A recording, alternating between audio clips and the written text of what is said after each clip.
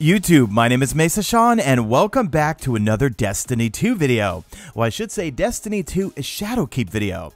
Yeah, folks, we have some new gameplay and footage and information regarding going back to the moon with Shadowkeep this September. Look at this Void rocket launcher. That's gotta be exotic. This thing is littered with little Easter eggs and uh, tidbits and whatnot, which I'll cover in a separate video. I'm gonna play this full thing out at the end, but I want to chime in on a few things. So this morning I put up a video going over the, uh, well, teased power cap, which I think is going to be 900 power. Also some returning exotics, uh, this big scarlet fortress called the Keep, that's going to be the focal point of the moon.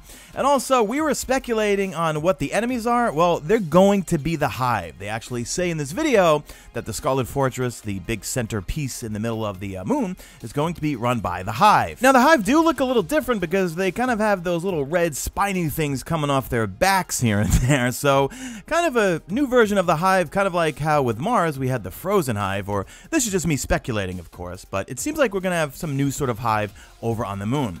Now, the Fallen are going to be there, and one of the cool things they discussed is that some of the things that we were used to seeing that we did not have access to, we'll have access to. Like there's a Fallen Ketch that we were used to just, well, roaming around and farming for helium filaments, if you remember back in the day, but now we can actually go into there and explore. And supposedly the Fallen are on the moon trying to rebuild their Fallen Ketch or rebuild something over on the moon. So it looks like the Fallen and the Hive will be on the moon, but they do say that Eris Morn, she arrived on the moon and she awakened some sort of darkness. Now, that begs the question is this kind of uh, going to be the send off to leading into Destiny 3? That's been a big point of contention within the community recently is hey, is there going to be a Destiny 3? Uh, I think VGR, VGA.com or something published an article saying 80% of Destiny players do not want a Destiny 3. Um, where did you pull those stat numbers from, please? I'd like to know. I don't know. I get a feeling this is going to be the final year for Destiny 2, and this will lead into Destiny 3. So it wouldn't surprise me if this darkness she awakes uh, could be the pyramid ships. I don't know. We'll find out. But I'm going to let it roll out right now, and you guys let me know what your thoughts and opinions are in the comments section. All right, guys, leave me a good old hashtag made it to the end if you made it to this point in the video, and do me a favor, drop a like in this video only if you see fit. Follow me on Twitter at MesaSean. Check out my stream. Usually know it's on YouTube. But that's it. I am out of here like Vladimir. There's something about the moon. It fascinates us, it haunts us, and now it's calling us back.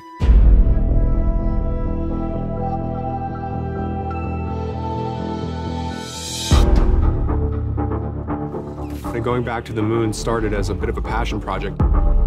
We want to see, can we take this destination and really stand it up alongside all the rest of the destinations we've made in Destiny 2? So how can we bring back the moon with a twist, make every player realize that it's a moon but with something new on it? Shadowkeep, the moon is entirely changed. It's completely remastered. There have been a bunch of different changes, both large and small, for players to kind of experience on their own and find. We have about double the amount of space. There's more than twice as many places you can go. You've been here before, but it's not the same. Main thing that drove us was the idea of what if there was a hive castle right on the surface. We were trying to go for something that was that felt really imposing and really threatening. It's very spiky and red, which just kind of makes it feel more aggressive. This is the Fallen Ketch from Destiny 1, and it's actually kind of resting on the surface of the moon, and the Fallen are basically making a new base using pieces of the Ketch. They're basically just trying to survive. There's a bunch of new lost sectors in the destination. This is one of the spaces in Destiny 1. You couldn't really go inside of it, but in Destiny 2, we kind of let you get deeper into these structures on the moon. It's meant to feel like you don't really know what you're going to find. You're not really sure how to traverse this land. On the art side, it's got a completely rebuilt skybox. Every space has top to bottom new lighting. This is actually the first space that we relit. In D1, the lighting is a little bit more clean cut. We went with a lot more saturated colors in some spaces, but in D2 we were trying to give this feeling of desaturation and general spookiness. We wanted it to feel a little bit more mysterious. We wanted it to feel a little bit of that what's in the shadows.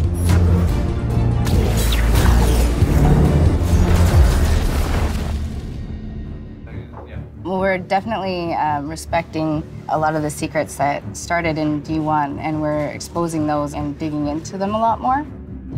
We open up the game with a cinematic, taking us back into the moon with a character that knows the moon better than anybody else. Eris is, in a way, the catalyst. She's the one that woke up the beast. Imagine that we're gonna have like a layer of that, you know, dust and a little bit more of that rockiness on there. So when she does reach out to it, it'll wake up. Reacts to it when she touches it. Exactly. We actually just caught that moment for the first time with a lighting test. Eris discovered something under the surface of the moon, a hidden darkness.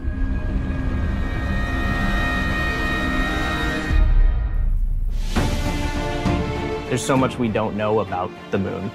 I think a lot of this release is, is about mystery. One of the things we really liked about the moon in Destiny 1 was that it brought in this element of spacefaring and the height of humanity, right? The height of where we landed as humans before the collapse. So there's a lot of stories that we're telling about the history of humanity here. The people that built the accelerator, the people that built all these structures on the moon, like what happened to them, where did they go? We have a liftoff. Liftoff on Apollo 11. One small step for man. Landing on the moon in real life was a gargantuan achievement for humankind. We're coming up on the anniversary of that accomplishment. We want to pay respect and kind of like homage to that, uh, that moment in human history.